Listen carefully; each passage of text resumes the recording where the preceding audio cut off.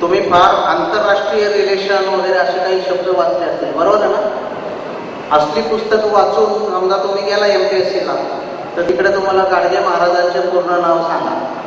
असं सांगा. तर काय फरक आहे? काय फरक आहे? ओरिएंटेशनमध्ये फरक आहे. लक्षात आलं? म्हणजे राष्ट्रीय पातळी आंतरराष्ट्रीय पातळीहून डायरेक्ट ग्रामपंचायती किती सदस्य असतात? आणि मी तुम्हाला गंमत म्हणून सांगतो. आमचा एक मित्र होता. युपीएससी तीनदा पास झाला आणि प्रत्येक एम पी एस सी नापास झाला. त्याच्यामुळे असं काही नाही की बाबा हे केलं की ते येतं. बरोबर आहे? मला वाटतं जेवण झाल्यामुळे एका विनोदाने आपण सुरुवात करू. एक लहान मुलगा होता. मला पहिल्यांदा तो शाळेत गेला. आता तुम्हाला माहिती आहे, जेव्हा पहिल्यांदा शाळेत जातो तेव्हा त्याची आई आहे ना तिला एवढी क्युरियोसिटी असते हा रात्री संध्याकाळी परत कधी घरी येतो? बाहेरची मी राहिलेली असते. की आज पहिल्या दिवशी रडला का? त्याने खाऊ खाल्ला का नाही? सगळ्यात प्रश्न प्रश्न. तो मुलगा घरी येतो. त्यालाही विचारते आज काय शिकवलं शाळेत? तो म्हणतो त्यांना काही फार शिकवायला जमलं नाही. मला परत उद्या जावं लागणार.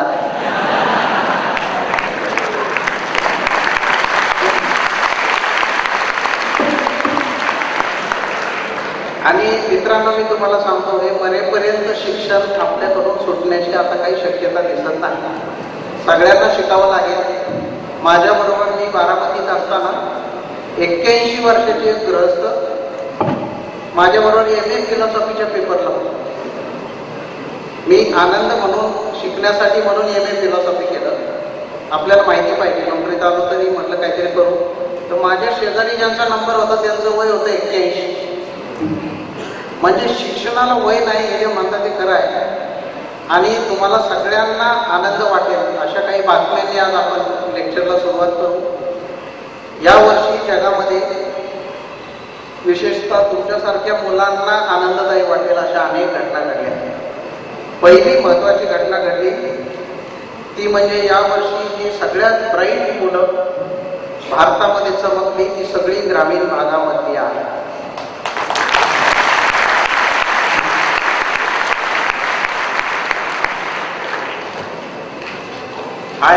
आय मुलगा असो नाहीतर एम पी एस सीतला असो नाहीतर यू पी एस सीतला असो आमच्या शिरूरमधला एक मुलगा आहे झाला तांबडी नावाचा. माड्यामधला एका शेतकऱ्याचा मुलगा आहे झाला. राहुरीमधली तीन मुलं आहे झाली लक्षात आलं आणि हे सगळे आपल्यासारखी ऑर्डिनरी मुलं आहेत. त्याच्यामुळे पहिला कॉन्फिडन्स हे लक्षात ठेवा आपण कोणाच्यापेक्षाही कमी नाही. हा एक कॉन्फिडन्स घेऊन आपण चाललो तर आपल्याला फायदा आहे. याच वर्षी मी यावर्षी स्पर्धा परीक्षा साहित्य संमेलनाचा अध्यक्ष होतो. पण दोन वर्षापूर्वी एक अध्यक्ष होते. त्यांचं नाव आहे ज्ञानेश्वर मुळे. नाव ऐकलं कोणी? अब्दुल नावाच्या कोल्हापूर जिल्ह्यातल्या अतिशय बारक्या खेड्यातला हा मुलगा यावर्षी भारताचा अमेरिकेतला काउन्सिल जनरल म्हणून न्यूयॉर्कमध्ये या महिन्यामध्ये रुजू होत आहे. म्हणजे आपल्या मराठी मुलांना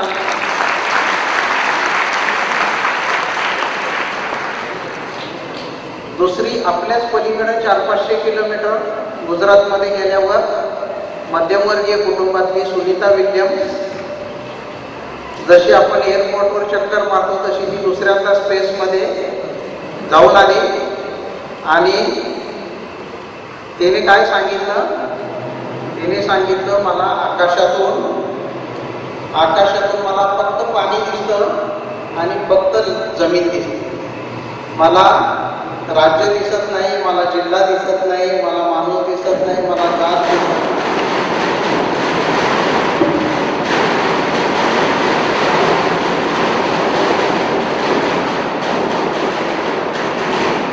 म्हणजे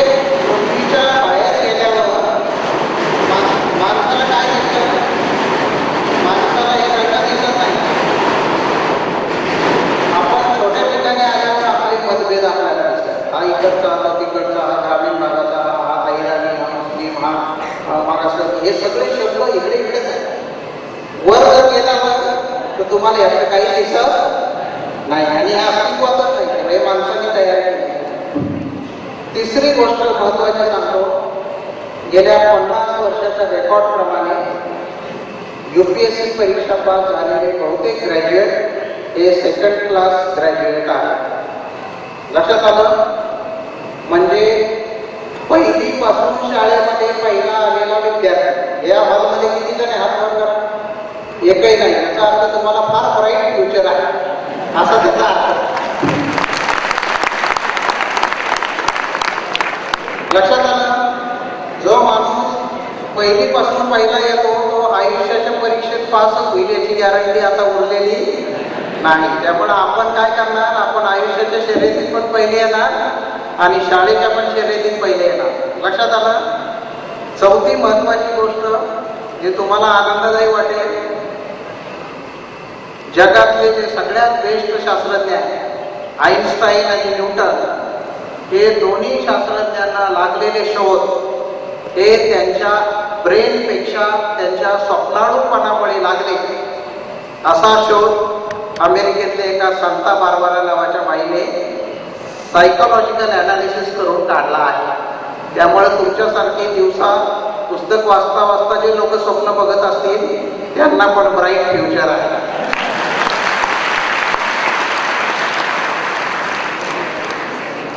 आपलं लक्ष बरोबर आहे ना आपण असंच वाचतो. कारण आपण घरच्यांना दिसेल अशा स्टाईलने पुस्तक धरतो. अर्धा तासाने कोणी पण घरात चक्कर मारली तरी पान नंबर छप्पन वरच आपण असतो. पुढे सरकत आणि मग आपल्या मनामध्ये मध्ये श्रीदेवी येते मग कधीतरी कॅटरीना कैफ येते. आणि मधल्या काळात आपण कुठून कुठून कुठून फिरून येतो परत पान छप्पन. शेजारच्या मुलाला वाटतं किती अभ्यास करतो. आणि हे जसं वाचण्याच्या बाबतीत आहे तसं लिहिण्याच्या बाबतीत आहे. लिहिण्याची तर आपली शैली म्हणजे अद्भुत आहे. मी तर गमतीने असं म्हणतो की हाच खरा परीक्षेचा आपण शाळेत येत असलेल्या परीक्षेचा आणि स्पर्धा परीक्षेचा क्वालिटेटिव्ह फरक काय माहिती आहे का? तुम्ही जे पेपर लिहिता त्याच्या शैलीमध्येच फरक आहे. उदाहरणार्थ म्हणजे कितीतरी उदाहरणं मला तुम्हाला सांगता येईल आमचा एक मित्र होता बरं का. त्याला आम्ही आठवी शिकलेला असताना म्हणून दहावीला बसवला. त्याला म्हटलं आणि दहा वर्ष झालं तर घरी बसलाय. क्लास तरी होशील तू दहावीची परीक्षा द्या मग एकटाचा बसला दहावी. दहावीची परीक्षा देऊन आला मीच फॉर्म भरला. होता आला नंतर मला म्हणजे बहुतेक साहेब चार पाच मार्क माझे जातात. म्हणजे आम्हीच हिशोब करायला यायला किती पडतो. आणि मग रिझल्ट लागल्यावर पहिल्या वर्षी त्याला म्हटलं सतरा टक्के मार्क मग पुढच्या वर्षी बसवला त्या वर्षी पडले बावीस टक्के मार्क त्याच्या पुढच्या वर्षी परत त्याचे झाले एकोणीस टक्के मार्क असा दहा वेळा तो परीक्षेला बसला. शेवटी त्याची मुलगी पण दहावीला आली. आणि मग तिचा नंबर ह्याच्या शेजारी आला. आणि मग दोघ जण यथावकाश एकदम दहावी पास झाले. मी त्या बाबूला म्हणायचं तुला मार्क कसे काय पडत नाही? तो म्हणायचा साहेब काही कळत नाही हो. मी पुस्तकामध्ये तीन लिहिलेले असले ना आता मी पंचवीस मुद्दे लिहितो. मी म्हणलं हा शोध लावतो कुठून? बघा आपण आपण सगळे तसे पेपर लिहितो. आणि काही पण म्हणजे मिळवणारे पुस्तकात ज्यावेळी नवनीत काही लिहायचं होतं त्यावेळी पुस्तकात तीनच लिहिलेले असताना बावीस काढतो कुठून? म्हणजे डिफरन्स घ्या. बरं स्पष्ट करा. असं आलं ना उदाहरणार्थ गंमत म्हणून उदाहरण घ्या. घड्याळ आणि बादली यातील फरक स्पष्ट करा. की मग इकडे पहिल्यांदा तर एक ग्रेप कोरी सोडायची? मग दोन्ही बाजूनी मार्जिन सोडायचं. म्हणजे आपलं जास्त उत्तर चार पाच पानं भरली पाहिजे. आपण आयडिया करतो ना सगळं? मग पहिला आकडा लिहिणार इकडे डाव्या बाजूला. घड्याळ म्हणजे घड्याळ होय. मग इकडे लिहिणार बादली म्हणजे बादली होय. मग एक खोल सोडली परत एक रे मोठी स्केच पेननी दोन नंबरला गेले. घड्याळ म्हणजे बादली नव्हे. मग इकडे लिहिणार बादली म्हणजे घड्याळ नव्हे. तीन नंबर. घड्याळामध्ये बादली बसू शकत नाही. मात्र बादलीमध्ये घड्याळ बसू शकत चार नंबर. बादलीत घड्याळ ठेवले तर भिजू शकते. मात्र बातमी उलटी ठेवली आणि तिच्यामागे घड्याळ ठेवले तर ते भिजतच नाही. आणि असे बावीस परत लिहिणार आणि मग मागच्या पानावर शेवटी लिहिणार. घड्याळाचा उपयोग वेळ बघायला होतो. आणि बादलीचा उपयोग पाणी साठवायला होतो. तोपर्यंत मास्तर जायचे तेवढं वर्णन पुढे मारायचे याचे बाबूला सगळीकडे असं कार्यक्रम. कारणे लिहा. आता ते पूर्वी तर चार वेळी छापलेल्या असायच्या आपल्याला माहिती कारणे लिहा. मग एक तर पहिल्यांदा जे लिहिलेलं आहे ना एक तर अभ्यास करून जायचा नाही. त्यामुळे तिथे गेल्यावर प्रश्नपत्रिका वाचायची. रेल्वेच्या दोन रुळांच्या मध्ये पट ठेवलेली असते कारणे लिहा. मग मोठं मोठं अक्षर काढायचे पहिले दीड वळ तर त्यांनी भरायचे. म्हणजे प्रश्न करून काढायचा रेल्वेच्या दोन रुळांमध्ये पट असते कारण की कारण एवढंच आहे सगळ्यांचं.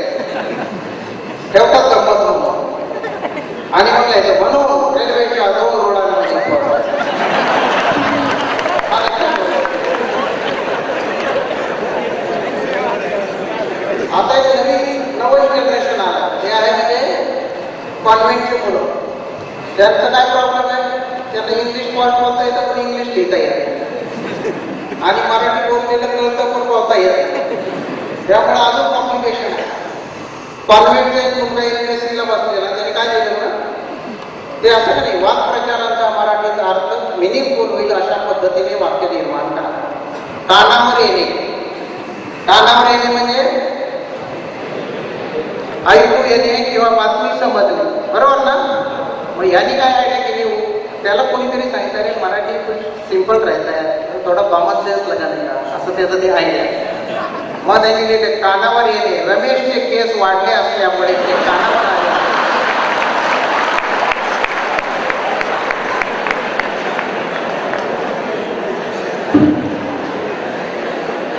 पत्ता न लागणे. पत्ता न लागणे म्हणजे बघा पत्ता न लागणे म्हणजे शोध न लागणे. पत्त्याचा कॅट जुना झाल्यामुळे पत्त्याला पत्ता लागत नव्हता.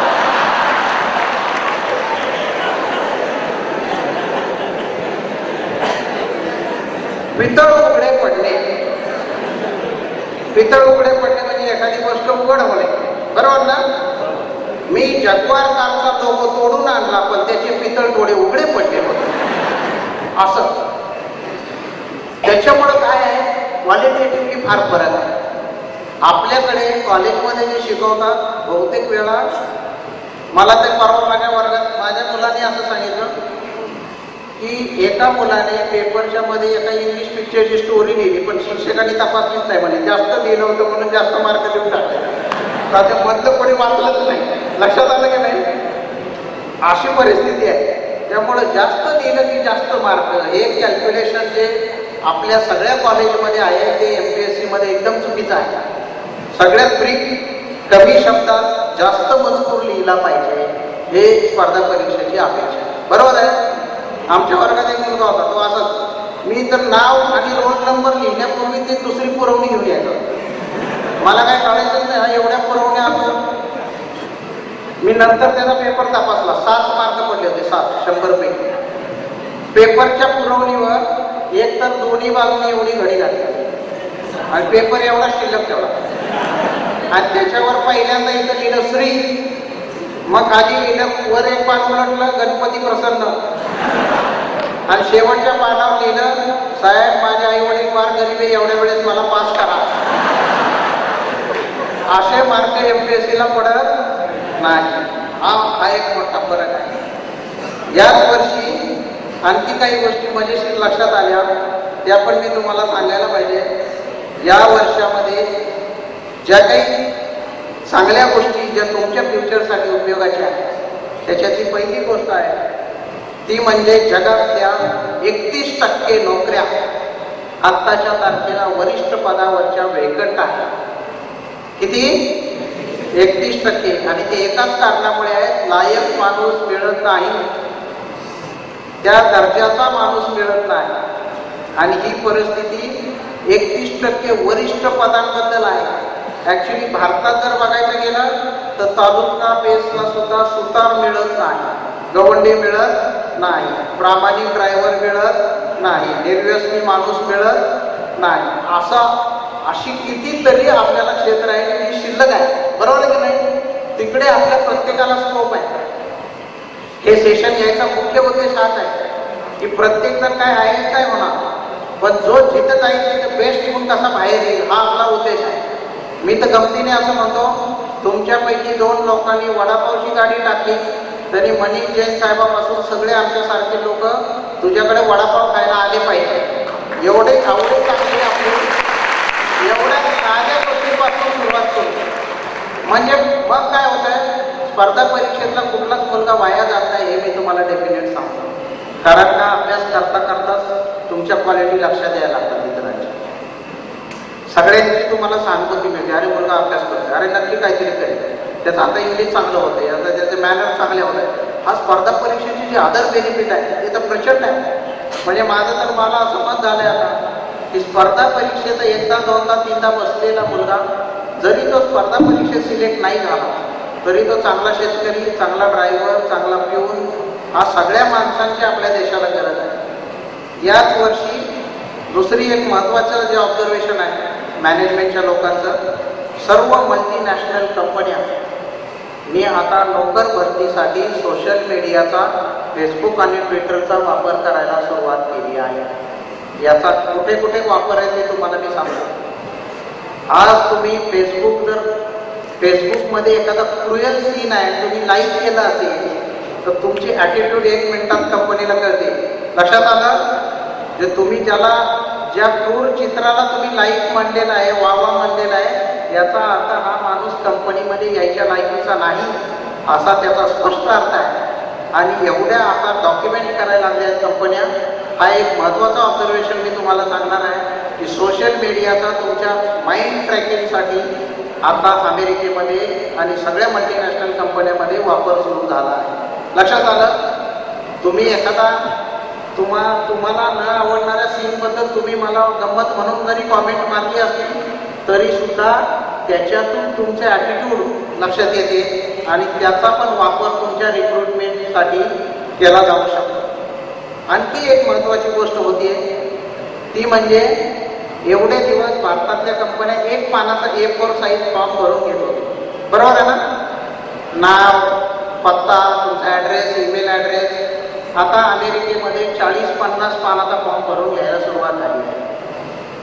आणि जाता जाता एक अब्राम लिंकनची आवडती गोष्ट सांगून मी माझ्या भाषणाचा शेवट करतो.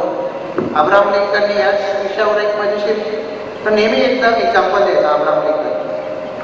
बऱ्याच प्रेस कॉन्फरन्सला अब्राम लिंकननी मोठं उत्तर पॉलिटिकल दिलेलं नाही ही गोष्ट सांगितली. त्याची सगळ्यात आवडती गोष्ट म्हणजे एक मुलगा होता त्याचे वडील मोठा बिझनेस एम्पायर चालवायचे. त्या मुलाला वाटायचं किती कधी मी एकदा याचा एम डी होईल चेअरमन होईल. पण त्याचं वय तीस झालं चाळीस झालं पंचेचाळीस झालं. बावन्नाव्या वर्षी त्याचा धीर सुटला. आणि त्याने काय केलं? भाडोत्री लोक आणून आई वडिलांचा मर्डर आणि मग त्याला असं वाटलं की मी आता हे बिझनेस एम्पायर माझ्या हातामध्ये येईल. आणि त्याच्यावर खटला दाखल झाला. त्याला फाशीची शिक्षा देण्यापूर्वी जजेसनी त्याला विचारलं की तुझं काय म्हणणं आहे? आणि मग त्यांनी काय डिटेल्स घेतला असेल? तो म्हणला माझ्याकडनं चूक झाली आहे बरोबर आहे. पण माझं एकच मुद्दा लक्षात घ्या की मी आता अनाथ आहे. आणि मी अनाथ असल्यामुळे माझ्यावर न्यायाधीशांनी दया करावी. असं एक ट्रॅजिक ऑर्ग्युमेंट त्यांनी केलं. माझं असं म्हणणं यश मिळवताना आपल्या हातातून चांगली माणसं आपले आईवडील आपले नातेवाईक आपला समाज आपलं गाव आपलं घर हे सगळ्याबद्दल सातत्यानं असणारं भान न सुटता मला वर जायचं आहे. मी जर आभाळाचा पाय टेकवणार असेल हात टेकवणार असेल जमिनीचे पाय न सुटता मला ते करायचं आहे. एवढंच तुम्ही भान सगळ्यांनी सतत ठेवावं अशी शुभकामना मी व्यक्त करतो आणि माझं भाषण आपण